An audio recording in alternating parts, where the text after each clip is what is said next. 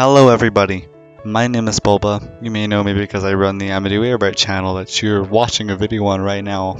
And I'm pretty sure you've everybody's known about this by now, even though it was only posted today. Whether you saw it from my community post, someone else's community post, on Twitter, on Instagram, basically anything. Hell, maybe someone even showed it to you in person today, and that's how you found out. But, as we all know, the Owl House Season 3 is coming this October 15th. Now, I posted about this actually quite some time ago for the first time all the way back in June. A lot, I uh, will admit, a lot of people didn't believe me, which I can't really blame them. I didn't have an official source at the time, but that time has passed, and now it has been proven by even the creator of the Owl House, Dana Terrace herself. The poster for the Owl House Season 3 has been revealed, which you've probably already seen it already, all over the place. It's even the thumbnail of this video, so you've definitely seen it. And there are a lot of things that you can see through the poster, and a lot of speculations with stuff that we could be seeing, or just general stuff to analyze from the poster. Anyways, so let's take a look at the poster right here.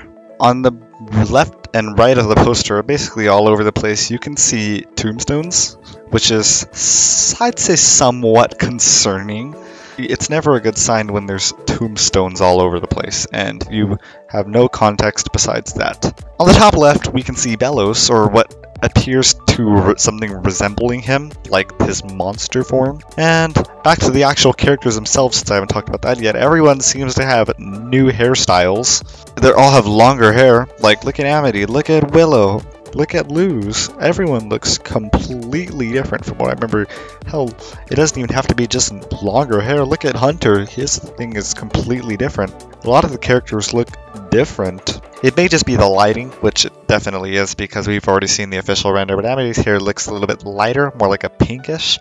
But in the official render, it still appears to be that lavender purple we've been familiar with for a while now, so there's nothing too like crazy about that. Luz, her new design seems to be like the beta Luz Noceda design that I think a lot of us have seen by now, which I honestly think this could be hinting at a time skip ranging anywhere between at least a month to up to a year. We know this episode is going to be taking place from Halloween time, at least the new episode. We don't know when exactly, but we do have enough evidence to support this theory.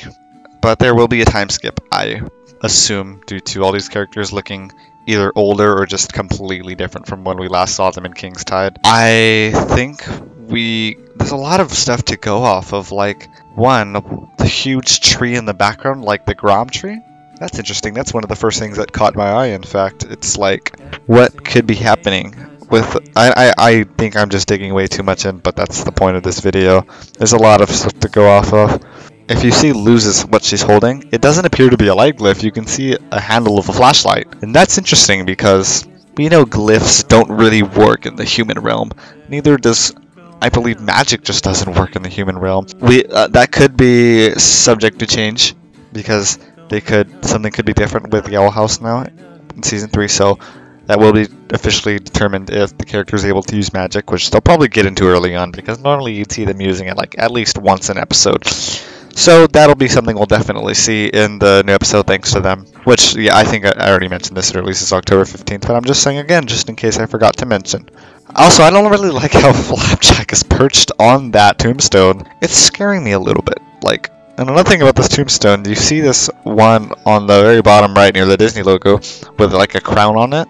But I, it has the letter E engraved into the tombstone. Like, could that mean Edalyn Clawthorne? I, I don't want to be the one to like jump to conclusions, but I'm just saying what I observed. But another thing is like something I believe we will get a backstory of the Wittebane brothers from a long time ago. It it probably won't be a full episode, but it'll be at least a portion of an episode considering the giant Belos in the background, which everyone saw, I'm pretty sure. Look at Hunter, he changes, he cha I think one of the main reasons Hunter would have changed his art style, not, sorry, hairstyle, is because he probably saw either a picture or a statue of Caleb and thought, I don't want to look like that. Especially after Belos told him out of all the Grimwalkers, you look the most like him. He doesn't want to be associated with that shit. He changed his hairstyle. Which, honestly, I can see that. I, I respect that. I can totally see why someone would do that. But I think there might go into a deeper backstory of that instead of just having a cha- hairstyle change. I mean, it is a time skip, so all the characters will have something like that. But yeah. Also, more stuff. It Amity appears to. It, it's hard to tell if it's like a dress or an apron of some sort. It could be either one, or it could be both. That's I'm just saying what I observed so far based off of the poster. But there are official renders which proves it kind of is a mix of both, but more leaning towards an apron. Willow's glasses are kind of darker, which is something that took me a little bit to notice.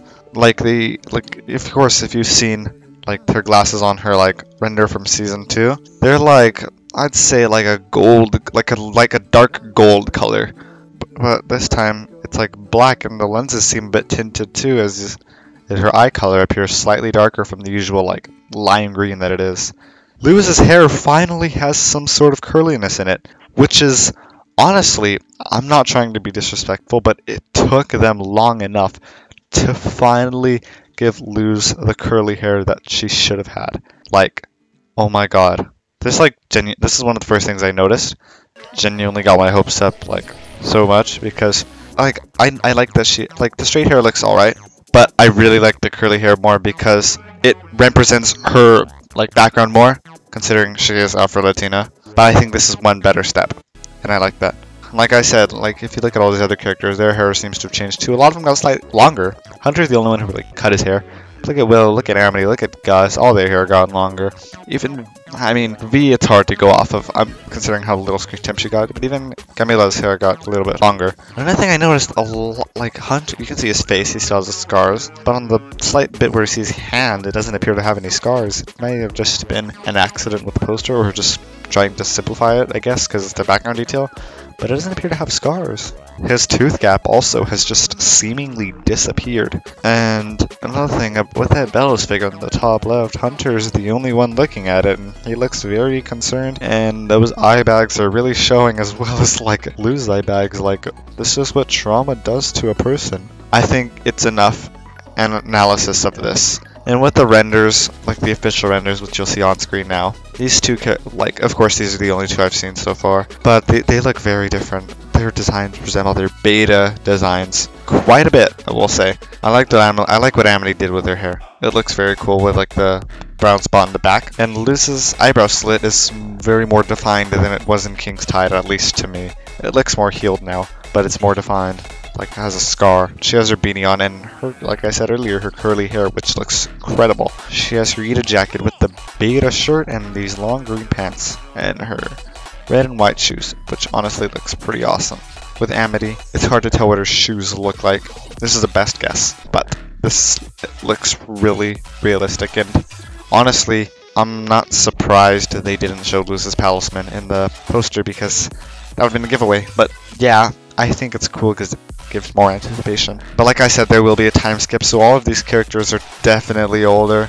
I, I don't know if it's just the lighting or not, but we can sort of make out uh, some gray streaks in Camila's hair, which does, I guess, lean more towards the fact that it could have been at least a year. Which make a lot of these characters 15 now, except for Hunter, which is like 17 now, and Willow, who would be 16 now, since they are older by the end of King's Tide. But yeah, uh, there's a lot of stuff that's changed, just ranging from like even small things such as Hunter's hair gendering onto all these characters just looking completely older. It's crazy how like I, we I didn't think we'd be getting a poster this fast. Like and of course they can't have really characters like Eda, King, Lilith, Raine they can't have characters like that because they're not, we don't really know what happened to them. Anything involving them would technically be a spoiler. It's a lot to think about. Four months since King's Tide was aired. And yeah, it's been a while. The Owl House Season 3 will be airing October 15th, 9 p.m. I'll be posting more updates about it on community posts. But I have a challenge for all of you if you can somehow get this video to what's a reasonable like goal? Like 2,000 likes? What I will do is, of course, we're still going to have our little stream party in my Discord server where I play the episode and you can hear me react to it live. But what if I, on top of that, I also live stream it on YouTube. Not the full episode. I'm gonna have to censor the episode a lot. So if you want the good quality, join the Discord. Link in description. But what if I live stream it on YouTube with Facecam on? Like, I think that would be pretty fucking interesting. I'm not even gonna lie. But that is up to you. If you wanna, if you want that, you know what to do. Just click the like button. Remember, October 15th, 9 p.m. That's when the episode officially releases. I don't know if clips will be uploaded earlier or later. It depends on how fast I can get the episode. But thank you for watching this video. And goodbye.